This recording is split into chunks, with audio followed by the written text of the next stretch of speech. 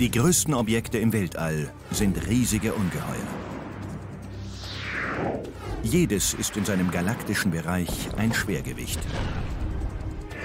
Das Universum ist ein unvorstellbar großer Ort. Es ist so groß, dass es schwierig ist, die Größenordnungen zu verstehen. Auch im Universum spielt die Größe eine Rolle, aber auf andere Weise. Im Weltraum bedeutet größer nicht unbedingt besser. Und oftmals leben die Sieger auf großem Fuß und sterben jung.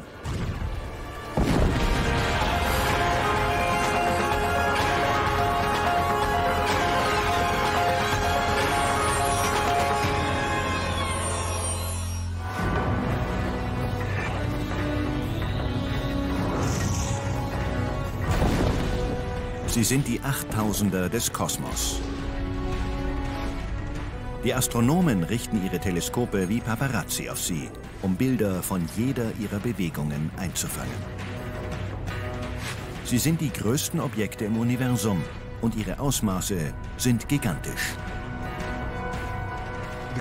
Der Vorteil, im Universum riesig zu sein, liegt darin, dass das Universum noch viel riesiger ist. Man kann sich also genügend ausdehnen und seine Größe von neugierigen, intelligenten Zivilisationen messen lassen. Wenn man anfängt, Astronomie zu studieren, merkt man gleich, wie verdammt groß alles ist. Fast alles, was man untersucht, ist jenseits jeder menschlichen Größenordnung, wie wir sie im normalen Leben antreffen.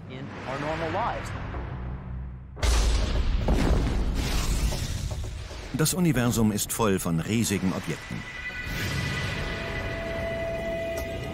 Innerhalb unseres Sonnensystems ist die Erde der fünftgrößte Planet. Aber sie ist 100 Millionen Milliarden Mal kleiner als das größte Objekt im All. Was trägt also den begehrten Titel, das größte Objekt im Universum zu sein? Die meisten Astronomen sind sich einig, dass es das kosmische Netz ist, ein endloses Gerüst von Ansammlungen von Galaxien. Umgeben von dunkler Materie, einer unsichtbaren Art von Materie, die 90 Prozent der Masse des Universums ausmacht. Ist das größte Objekt im Universum überhaupt ein Objekt? Es ist ein Netz dunkler Materie, das den Raum füllt. Diese Materie, die wir nicht einmal sehen können, ist dunkle Materie. Sie strahlt kein Licht aus, aber das ganze Universum ist voll davon. Dunkle Materie ist etwas Geheimnisvolles und besteht nicht aus dem Stoff, aus dem ich gemacht bin. Man kann sie nicht riechen oder berühren. Sie verfügt bloß über gravitative Anziehungskraft. Das kosmische Netz dunkler Materie wird sichtbar, wenn man die Objekte betrachtet, die es füllen. Dieses kosmische Netz ist fast wie ein dreidimensionales Spinnennetz. Im Zentrum aller Wirbel liegen Superansammlungen von Tausenden von Galaxien, die durch die Filamente im ganzen Universum miteinander verbunden sind. An den Schnittpunkten, an denen die stärkste Gravitation herrscht, sammelt sich das ganze Gas und dort bilden sich die Galaxien. Aber wie groß ist das kosmische Netz?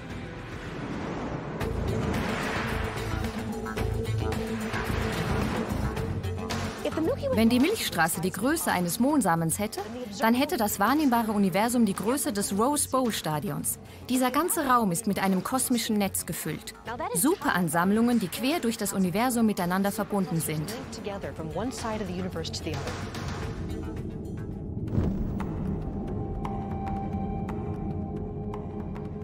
Die Ursprünge des kosmischen Netzes sind ungewiss. Aber die Wissenschaftler glauben, dass sein ursprünglicher Keim schon beim Urknall, dem Beginn des Universums, gesät wurde. Beim Urknall explodierte das ganze Universum und dehnte sich sehr schnell aus. Das kosmische Netz enthält die ursprüngliche Materie, die während des Urknalls geschaffen wurde und die zu den riesigen Formen expandierte, die wir heute sehen.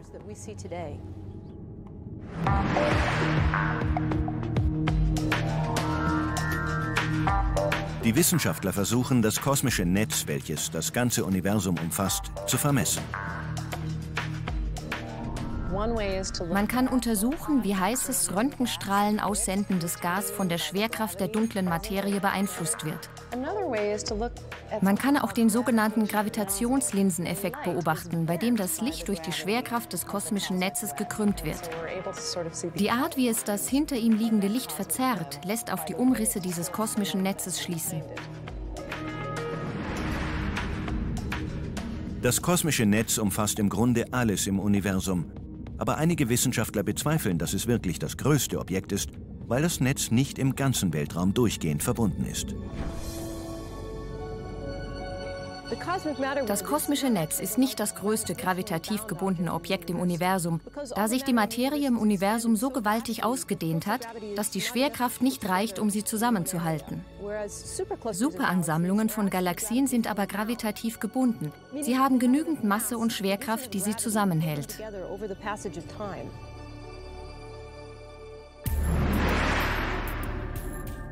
Es gibt keine verbindlichen Schätzungen, doch das kosmische Netz könnte aus Hunderttausenden von Superansammlungen bestehen. Das sind Mega-Ansammlungen von Galaxien, die durch die Schwerkraft über eine Entfernung von Hunderten Millionen von Lichtjahren zusammengehalten werden. Das Universum ist hierarchisch organisiert. Sterne bilden Galaxien, Galaxien bilden Ansammlungen, diese bilden Superansammlungen. Man könnte sagen, dass eine Ansammlung der nordamerikanische Kontinent wäre. Eine Superansammlung wäre dann der Zusammenschluss von Städten auf dem nordamerikanischen Kontinent, dem europäischen, dem asiatischen und so weiter.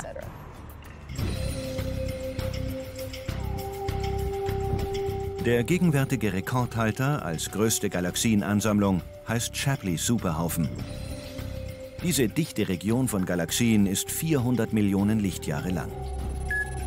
Das schnellste Raumschiff würde also Billionen Jahre brauchen, um ihn zu durchqueren.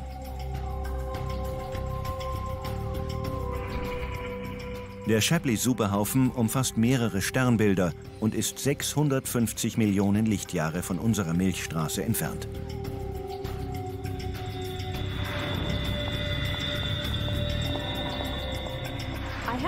Ich habe hier ein kleines Spielzeugboot, eine Kopie der Queen Mary, die hinter mir zu sehen ist. Dieses Spielzeug ist 4000 Mal kleiner. Wenn man sich vorstellt, dass unsere Milchstraße die Größe dieses Spielzeugs hat, dann hätte eine der massereichsten Superansammlungen, der Shapley Superhaufen, die gleiche Größe wie die Queen Mary. Der Shapley-Superhaufen wäre etwa 4000 Mal größer als unsere Milchstraße. Er ist eines der massereichsten Objekte im Universum.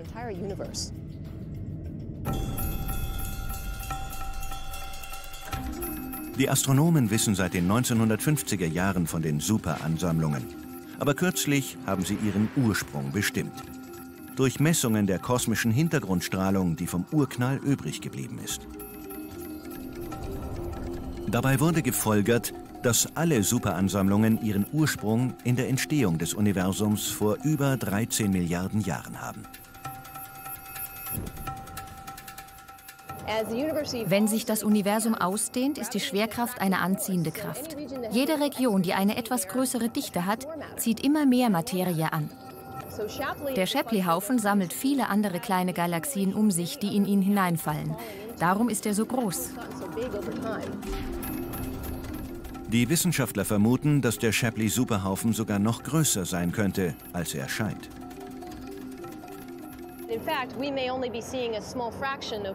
Wir sehen nur einen Bruchteil dessen, was im Shapley-Superhaufen wirklich vorhanden ist. Mit dem WISE-Teleskop werden wir etwa zehnmal weiter sehen. Vielleicht entdecken wir dann den Rest und erfahren, ob er noch mehr Masse hat.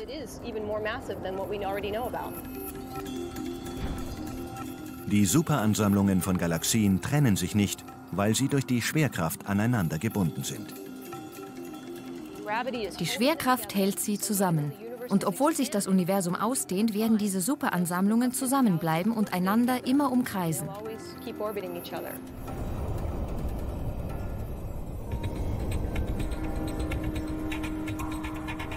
Auch wir Menschen leben in einem Superansammlungskomplex. Aber er ist weniger als halb so groß und weist etwa zehnmal weniger Masse auf als der Shapley-Superhaufen.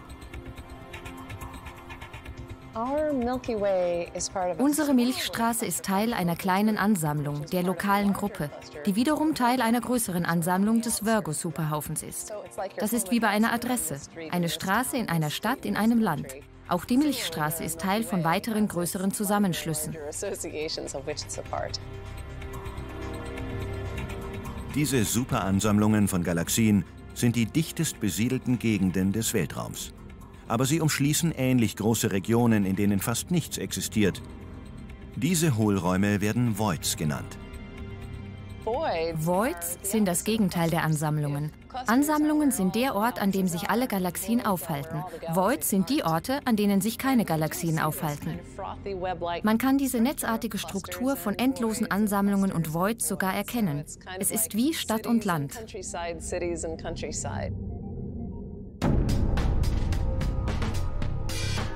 Der größte bestätigte Void im Universum ist Botes, der Bärenhüter, benannt nach dem Sternbild, in dem es sich befindet. Dieser fast leere Raum liegt 250 Millionen Lichtjahre entfernt. Das entspricht 2500 nebeneinander liegenden Milchstraßen. Man kann im Kosmos in jede Richtung schauen und wird immer etwas sehen. Galaxien, Gas, Staub, dunkle Materie. Wo man auch hinsieht, ist irgendetwas. Und doch gibt es da dieses riesige Loch mit nichts drin.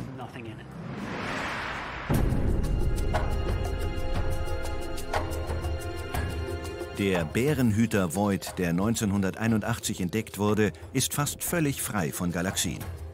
Durch exakte Temperaturmessungen der kosmischen Hintergrundstrahlung könnte man vielleicht noch größere Voids finden. Feine sogenannte Cold Spots in dieser Strahlung könnten die Richtung angeben, in der sich weit entfernte Voids befinden.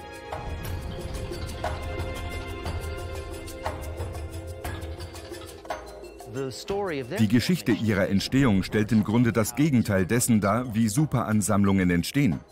Die Voids müssen in der ersten Mikrosekunde des Urknalls als Regionen von etwas geringerer Dichte entstanden sein. Aber mit der Zeit hat ihre Dichte immer mehr abgenommen. Die ganze Materie floss in die Filamente ab, wodurch die Voids immer leerer wurden. Heute gibt es fast nichts in einigen dieser Voids, außer ein paar Zwerggalaxien.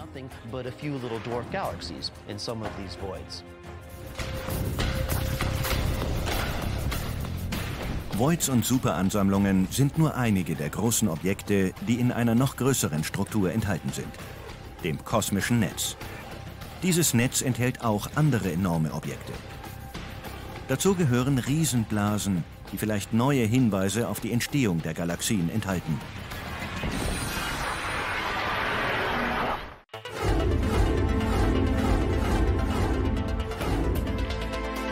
Das Universum ist voll von monströsen Dingen. Kürzlich haben Forscher riesige Gaswolken entdeckt. Diese geheimnisvollen Objekte werden Lyman-Alpha-Klumpen genannt.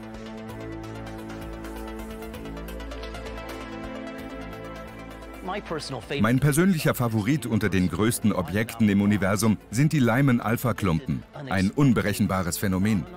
Dabei erwischt man eine Galaxis in den ersten Phasen ihrer Entstehung und ihres Untergangs. Ein Lyman-Alpha-Klumpen gleicht dieser sich ausdehnenden Seifenblase. Nur besteht im Fall der Seifenblase die Füllung aus Luft. Ein Lyman-Alpha-Klumpen dehnt sich aufgrund von Hitze aus. In diesem Gas steckt eine Menge Energie, um es aufzuheizen. Und wenn man einem Gas all diese Energie zuführt, pumpt es sich unweigerlich auf und dehnt sich aus. Ein Lyman-Alpha-Klumpen wird von der Hitze und möglicherweise auch von der ultravioletten Strahlung neu entstandener Sterne aufgeblasen.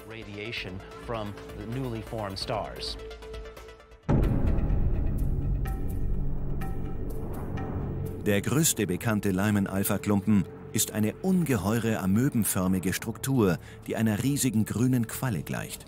Sie hat eine Ausdehnung von 200 Millionen Lichtjahren und befindet sich im Sternbild des Wassermanns. Wenn wir uns den Lyman-Alpha-Klumpen ansehen, sehen wir Gas, das sich unter diesen sehr frühen Sternen und Galaxien ausbreitet. Er hat eine amorphe Form von ungefähr 30 gesonderten Klumpen im Innern. Er ist sehr groß und hat viel Masse. Die ganze Struktur ist etwa 3000 Mal größer als unsere Milchstraße.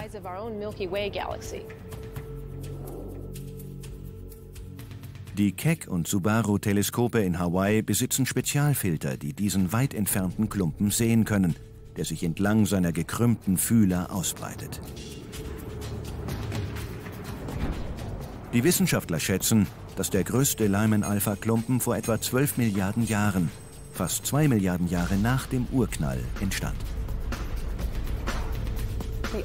Die Technik, die wir benutzen, um dieses Gas zu sehen, nutzt eine sehr spezifische Lichtfarbe, eine Lichtemission, die Lyman-Alpha genannt wird.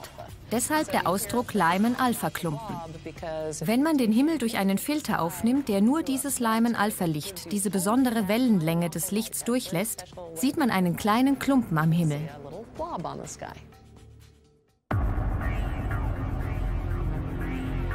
Die Lyman-Alpha-Klumpen sind vielleicht die Vorläufer der Galaxienansammlungen, die wir heute sehen. Innerhalb dieser riesigen Blasen existieren möglicherweise Kokons, die eines Tages neue Galaxien hervorbringen werden. Die Lyman-Alpha-Klumpen stellen eine ziemlich besondere und kurzlebige Phase in der Evolution einer Galaxie dar. Die meisten von ihnen werden wohl in den nächsten 100 Millionen Jahren ihres Lebens untergehen und junge Galaxien bilden. Es handelt sich also um die Phase, in der eine Galaxie anfängt, ihre Kräfte zu sammeln. Die Suche nach Lyman-Alpha-Klumpen beginnt gerade. Wir werden in Zukunft sicher noch viele von ihnen finden, vielleicht auch noch größere.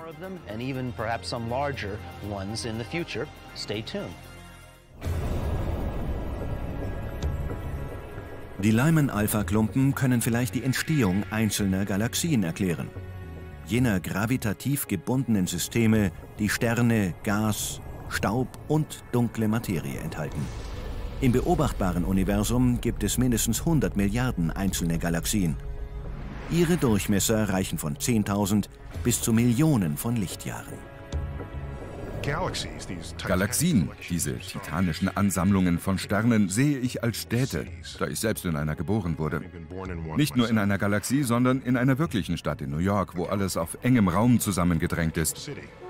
An den Galaxien können wir erkennen, wie sich die Materie im Universum organisiert hat.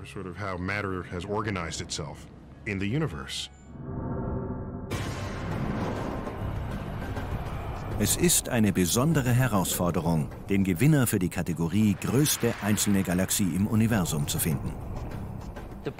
Das Problem bei der Bestimmung der größten Galaxie besteht darin, zu entscheiden, wo sie aufhören. Eine Galaxie hat keine scharfen Kanten. Sie wird einfach immer dünner, je weiter man sich entfernt. Genauso wenig können wir exakt feststellen, wo eine Großstadt aufhört. Wo ist das Ende von Los Angeles? Man kann 80 Kilometer fahren und wird noch immer ziemlich dicht besiedelte Vororte finden. Die Vororte einer großen Galaxie wie der Milchstraße dehnen sich sehr weit aus. Mehr als 100.000 Lichtjahre. Und bei einer Riesengalaxie dehnen sich diese Vororte Hunderttausende von Lichtjahren aus.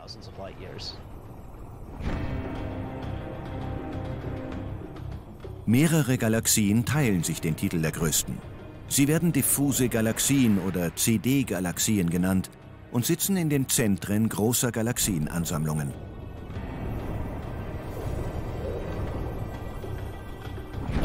Wenn man das kosmische Netz als eine Art dreidimensionales Spinnennetz ansieht, dann sind die in der Mitte lauernden Spinnen diese monströsen CD-Galaxien. Diese Galaxien können eine Masse aufweisen, die manchmal 10 oder 20 Mal die Masse unserer Milchstraße beträgt. Diese CD-Galaxien sind die größten Galaxien im Universum. Zum Beispiel sitzt IC 1101 im Zentrum einer Galaxienansammlung namens Abell 2029 und hat einen Durchmesser von 6 Millionen Lichtjahren. Unsere Milchstraße hat einen Durchmesser von 100.000 Lichtjahren. Im Vergleich ist diese Galaxie also 60 Mal größer als unsere Milchstraße. CD-Galaxien sind elliptisch geformt, im Gegensatz zur Scheibenform unserer Milchstraße. Der Grund besteht darin, dass sie ihre Größe durch Verschmelzungen mit anderen Galaxien erreicht haben. Sie kennen vielleicht den Ausdruck Galaxienkannibalismus wobei eine Galaxie eine andere verschlingt. Das geschieht andauernd in Galaxienansammlungen. Im Zentrum einer großen Ansammlung findet man gewöhnlich eine einzige große Galaxie. Diese CD-Galaxien haben sehr viel Masse. Manchmal umkreisen sie kleine Galaxien, aber meistens haben sie alles in ihrer Nähe aufgefressen. Die größten Galaxien können einen Durchmesser von 6 bis 20 Millionen Lichtjahren haben. Doch es gibt Objekte, die noch größer sind.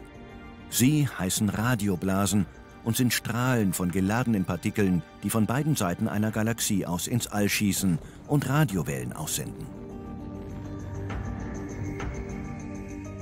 Wir sind hier in einer Karosseriewerkstatt, wo ich mit diesen Schweißbrennern Radiostrahlen simulieren werde, die aus den gegenüberliegenden Seiten einer Akkretionsscheibe kommen. Sie wirbeln um ein supermassereiches schwarzes Loch. Im sichtbaren Bereich sieht man eine kleine blaue Flamme, aber im infraroten Bereich sieht man, dass die Hitze des Schweißbrenners viel weiter reicht. Ähnlich ist es bei den Radiostrahlen. Das, was man optisch erfassen kann, ist ganz verschieden von den Radiowellen. Eine typische Blase misst vielleicht 160.000 Lichtjahre, da sie sich ja auf beiden Seiten der Galaxie ausbreitet. Das ist etwa die doppelte Größe der Milchstraße.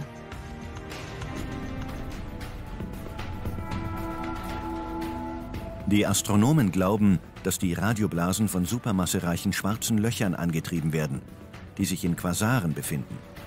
Dies sind die leuchtenden Zentren der meisten aktiven Galaxien. Die Strahlen der Radioenergie, die aus einem riesigen schwarzen Loch kommen und die enormen Strukturen der Radioblasen bilden, sind eng mit den Quasaren verbunden. Manchmal entdeckt man einen Quasar von geringer Energie im Zentrum einer Galaxie, der auf jeder Seite von diesen riesigen Blasen umgeben ist. Sie werden von hochenergetischen Elektronenstrahlen, die sich fast mit Lichtgeschwindigkeit bewegen, herauskatapultiert. Vermutlich vom Nord- und vom Südpol eines sich drehenden schwarzen Lochs.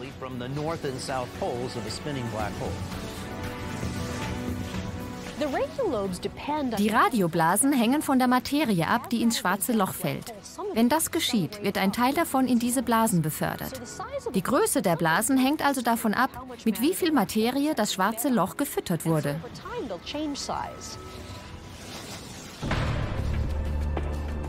Radioteleskope haben das Universum untersucht und die größte bekannte Radioblase bestimmt.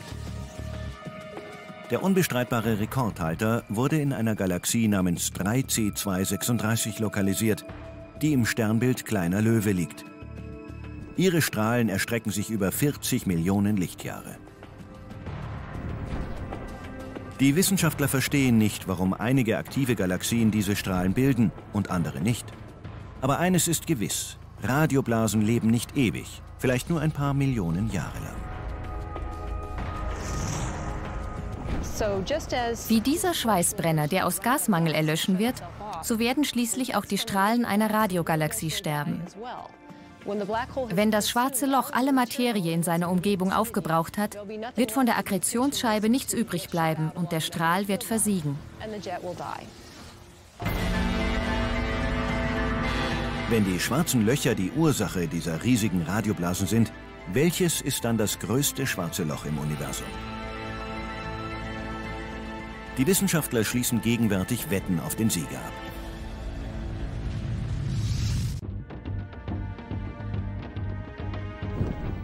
Wenn es um die größten Objekte im Universum geht, verdienen einige schwarze Löcher einen Platz in den Rekordbüchern. Ein schwarzes Loch ist ein Gebiet im All, in dem die Gravitation so stark ist, dass nichts entkommt, nicht einmal das Licht.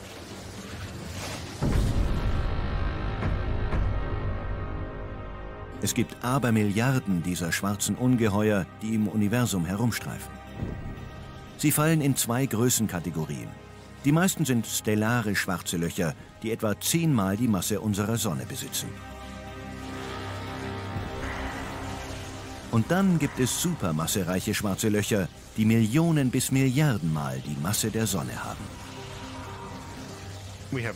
Es gibt supermassereiche schwarze Löcher, wie wir sie im Zentrum jeder Galaxie finden, die wir untersuchen konnten. Jedem Stern, der in der Nähe eines dieser supermassereichen schwarzen Löcher kreist, droht schlimmste Zerstörung.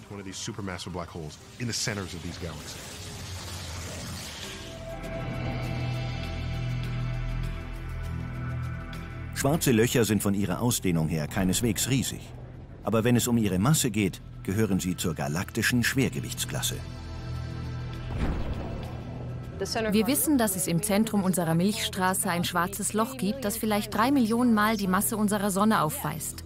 Und dennoch ist dieses schwarze Loch ziemlich klein, da es so unglaublich dicht ist. Doch gravitativ ist es unglaublich stark. Wie der Name vermuten lässt, sind diese schwarzen Ungeheuer im Wesentlichen schwarz, weil ihnen kein Licht entweichen kann. Es kann also nur beobachtet werden, wenn seine Schwerkraft auf etwas anderes, wie einen vorbeiziehenden Stern, einwirkt. Oder wenn es die Materie in seiner Umgebung verschlingt.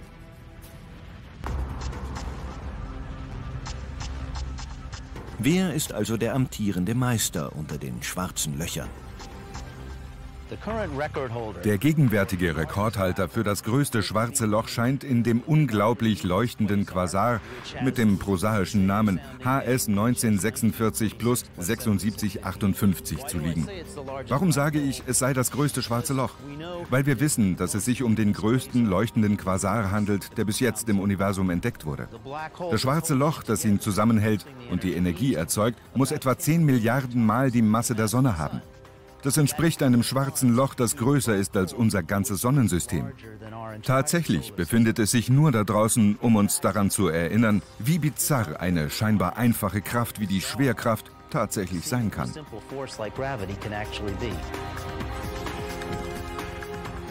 Das größte supermassereiche schwarze Loch übt seine Kraft im Zentrum einer Galaxie aus. Aber es gibt andere große leuchtende Objekte im Universum. Tatsächlich gibt es einige, die überall zu existieren scheinen, wo wir auch hinsehen. Wenn wir einen Blick in den Nachthimmel werfen, sehen wir Sterne. Funkelnde Lichtpunkte, die tatsächlich leuchtende Plasmakugeln sind. Obwohl sie von der Erde aus klein aussehen, gibt es Sterne in verschiedenen Größen.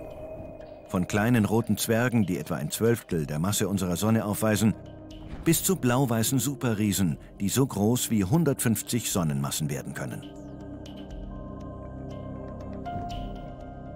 Unsere Milchstraße enthält 100 Milliarden Sterne, einschließlich unserer Sonne, die über 300.000 Mal die Masse unseres Planeten Erde besitzt. Und dieses kosmische Leuchtfeuer ist das Kraftwerk unseres Sonnensystems.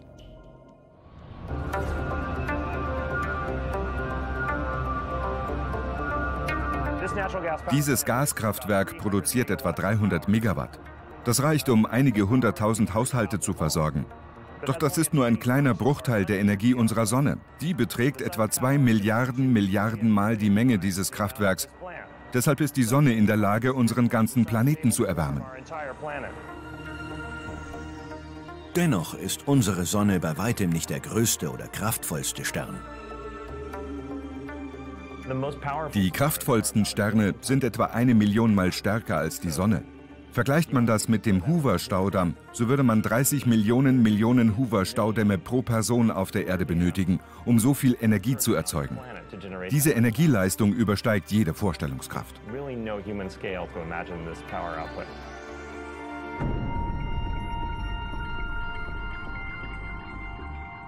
Die größten und mächtigsten Sterne, die diese Art von Energie produzieren, werden rote Überriesen genannt. Das ist eine Klasse von Sternen, die noch größer sind als die Überriesensterne. Normalerweise verschmelzen Sterne zur Energieerzeugung Wasserstoff zu Helium. Doch rote Überriesen haben den Wasserstoff in ihrem Kern verbraucht und verschmelzen nun den Wasserstoff in der Umgebung ihres Kerns zu Helium. Das macht sie äußerst heiß und diese Energie bringt den Stern dazu anzuschwellen. Am Schluss hat der Stern eine sehr große Oberfläche, so groß wie die Erdumlaufbahn oder noch größer. Im gewaltigen Feld der roten Überriesen scheint VY Canis Majoris den größten Durchmesser zu haben. Er ist 2000 Mal größer als der unserer Sonne. Der schnellste Rennwagen der Welt würde 2600 Jahre brauchen, um ihn einmal zu umkreisen. Dieser Weltmeister der Sterne liegt etwa 5000 Lichtjahre von der Erde entfernt im Sternbild des Großen Hundes. Wenn man die Sonne durch den VY Canis Majoris ersetzt, würde sich sein Radius über die Umlaufbahn des Saturns hinaus erstrecken. Er wäre etwa neunmal so weit von der Sonne entfernt, wie es die Erde ist. Der Stern ist also viel größer als unsere Sonne.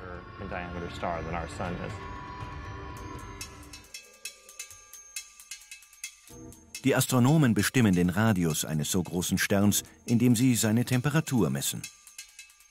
Wir benutzen Temperaturmessungen der Sternoberfläche, die wir durch die Farbe des Sterns erhalten. Und wir messen die Lichtstärke. Wenn wir diese Werte kombinieren, können wir die Oberflächengröße des Sterns und seinen Durchmesser bestimmen. Das setzt voraus, dass man seine Lichtstärke genau messen und aus seiner Farbe seine Temperatur ableiten kann. Meistens erscheinen sie als winzige Lichtpunkte und es ist unmöglich, sie aufzulösen.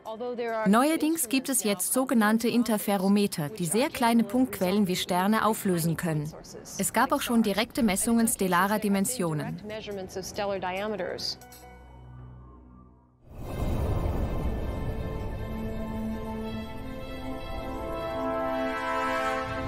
VY Canis Majoris wird nicht ewig der Titelhalter sein. Der rote Überriese verliert im Jahr Masse in der Menge von fast 30 Erdmassen. Die größten Sterne im Universum wie VY Canis Majoris sind sterbende Sterne. Sie verbrennen ihren Kernbrennstoff viel unbeständiger und verpuffen mit der Zeit. VY Canis Majoris ist nur ein paar Millionen Jahre alt. Sterne, die so massereich sind, leben nicht sehr lange. Sie verbrauchen ihren Brennstoff in erstaunlichem Tempo.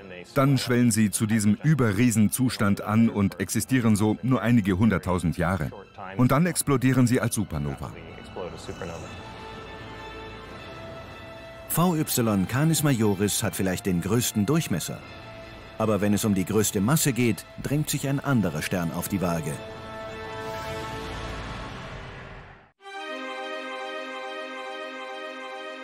In der weiten Welt der Sterne gibt es viele Bewerber, die um den Titel des größten Sterns im Universum wetteifern. Doch wenn es um die Sterne geht, kann groß zweierlei bedeuten. Wenn Sie vom größten Stern sprechen, können Sie zweierlei meinen. Entweder den Stern, der den größten Durchmesser aufweist, oder Sie können seine Masse meinen. Die Masse ist ein Maßstab dafür, wie viel Material vorhanden ist. Einige Astronomen sagen, dass der massereichste Stern in unserer Milchstraße liegt. Er ist Teil eines binären Sternensystems namens A1, das aus zwei Sternen besteht, die sich alle vier Tage einmal umkreisen. Wir können dort feststellen, dass der eine Stern etwa 115 mal mehr Masse als die Sonne aufweist und der andere etwa 84 mal mehr. Die beiden Sterne sind die massereichsten, die wir kennen. Es gibt in dieser Sternenansammlung vielleicht noch massereichere als den A1, aber das ist der massereichste, den wir messen konnten. Diese massereichen Sterne führen ein kurzes Leben. Die massereichen Sterne sind von gewaltiger Leuchtkraft. Manchmal können sie Millionen Sterne in ihrer Nähe überstrahlen, aber das hat seinen Preis. Der Preis besteht darin, dass ihnen schneller als allen anderen der Brennstoff ausgeht. Und wenn sie sterben, dann sterben sie spektakulär. Sie explodieren und verstreuen ihre Eingeweide in der ganzen Galaxie. Der Preis dafür, mit großer Masse und großer Leuchtkraft zu leben, ist letzten Endes die Explosion.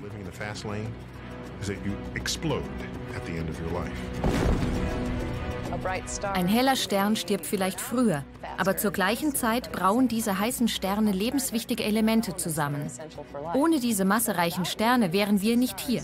Wir hätten kein Eisen in unserem Blut und kein Kalzium in unseren Knochen. Alle diese Dinge werden nur in den massereichsten Sternen gebildet.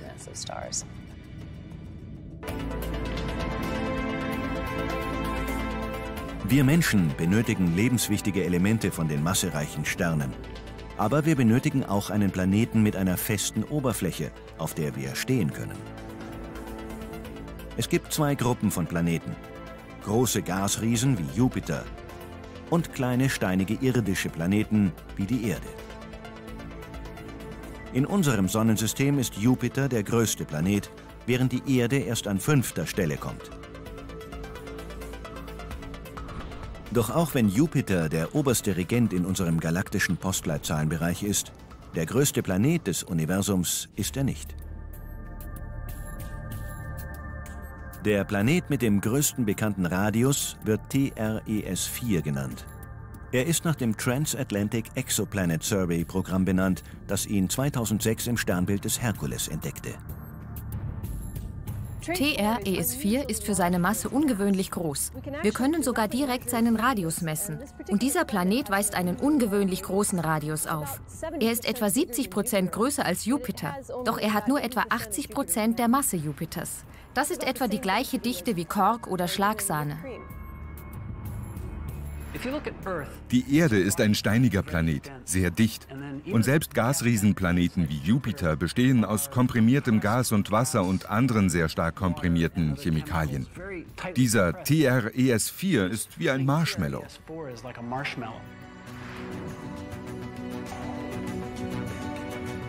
Obwohl TRES-4 für seine Größe leicht ist, ist er etwa 18 mal größer als die Erde. Die Wissenschaftler wissen nicht genau, auf welche Weise TRES-4 so groß wurde.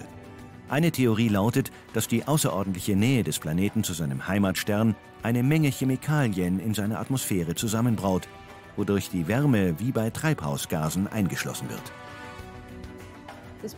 Die Entfernung dieses Planeten zu seinem Heimatstern beträgt nur etwa 5% der Entfernung zwischen Erde und Sonne. Er ist seinem Stern so nah, dass er ihn alle dreieinhalb Tage umkreist. Man kann sich also vorstellen, wie heiß und verbrannt er sein muss. Weil er sich nicht abkühlen kann, kann er auch nicht schrumpfen. Denn wenn Planeten oder Gase sehr heiß sind, dehnen sie sich aus. Deshalb ist dieser Planet sehr groß.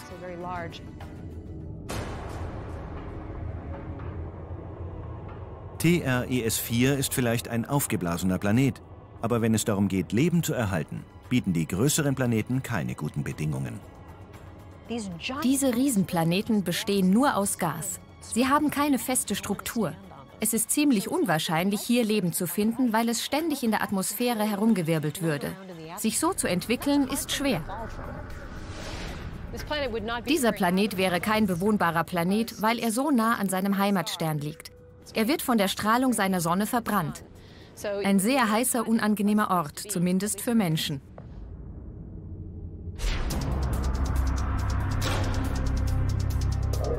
TRES-4 weist gegenwärtig den größten bekannten Radius auf.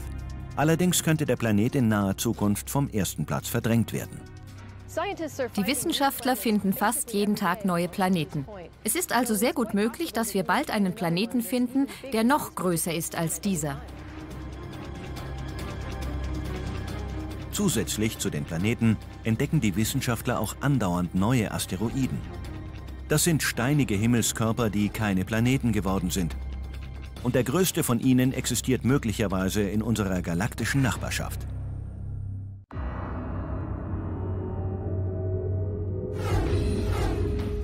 In unserem Sonnensystem flüchten sich Abermilliarden übrig gebliebener Gesteinsbrocken, die keine Planeten wurden, in den Asteroidengürtel.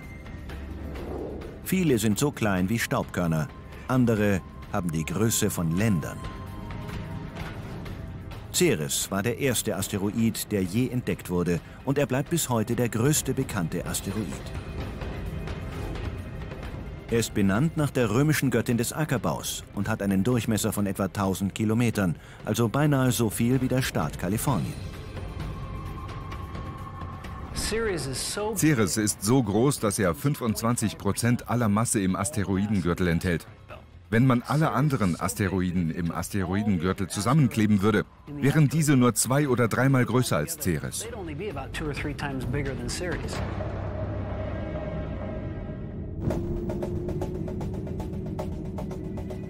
Die Größe unterscheidet Ceres vom Rest der Gesteinsbrocken im Asteroidengürtel. Der Apollo-Mondrover würde zehn Tage brauchen, um den Asteroiden mit 13 Stundenkilometern zu umrunden.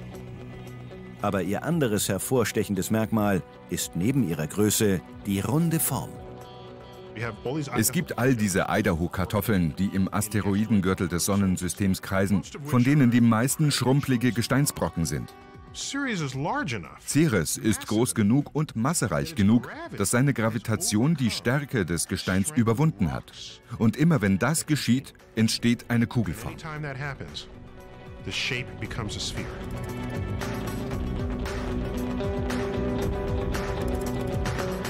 Aufgrund der runden Form trägt Ceres jetzt einen doppelten Titel.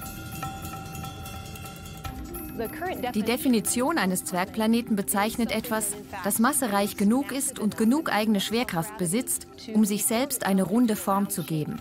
Und da Ceres rund ist, bezeichnen wir ihn nicht nur als Asteroiden, sondern auch als Zwergplaneten. Wir wissen im Moment nur wenig über die Zusammensetzung von Ceres. Wir wissen, dass er aus Gestein besteht, aber er kann in seinem Inneren auch Wasser, Eis und sogar Lehm enthalten. Die Dawn-Mission wird eine ganze Reihe von Instrumenten auf Ceres absetzen. Wir werden also mehr über die Zusammensetzung dieses großen Asteroiden in unserem Sonnensystem erfahren.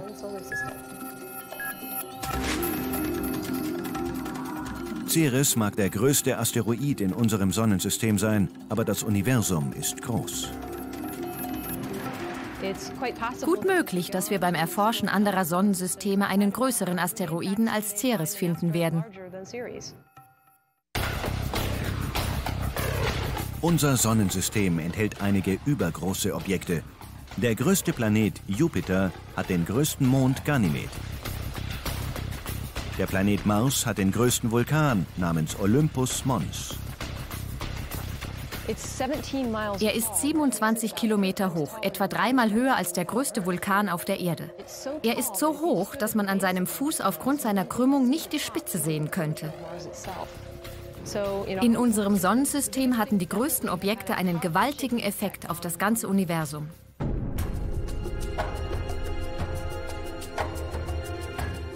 Man könnte vermuten, dass in unserem kosmischen Vorort die Sonne die Ehre hat, das größte Objekt zu sein. Ihre Masse ist tausendmal größer als die des Jupiter. Aber gibt es etwas Größeres? Das größte Objekt in unserem Sonnensystem ist die Ortsche Wolke. Eine diffuse Kometenwolke, die sich bis zu unserem nächstgelegenen Stern Alpha Centauri erstreckt, der etwa vier Lichtjahre entfernt ist. Die Astronomen schätzen, dass das Space Shuttle hunderttausende Jahre brauchen würde, um den äußersten Rand der Ortschen Wolke zu erreichen. Die Ortsche Wolke ist so dunkel und weit entfernt, dass wir sie nicht direkt beobachten können. Aber wir wissen, dass Kometen aus allen Himmelsrichtungen kommen. Es muss also eine sphärische Kometenwolke existieren.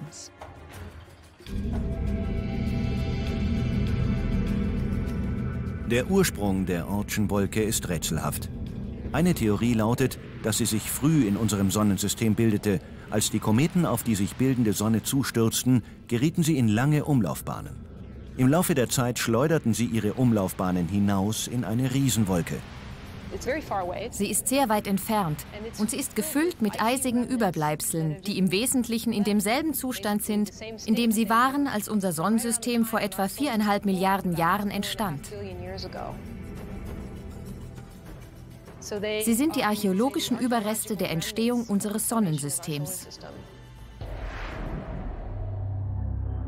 Das Universum ist voll von großen und kleinen Dingen.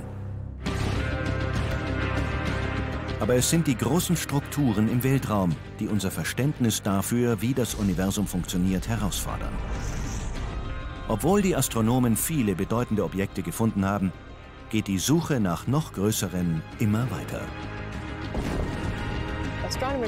Die Astronomen hoffen, neue große Planeten zu finden, neue Superansammlungen und mehr über die Dinge zu lernen, die wir schon kennen. Mit besseren Teleskopen, besseren Detektoren, neuen Untersuchungen werden wir weiter in den Weltraum hineinsehen und vielleicht noch größere Objekte finden als die, die wir kennen.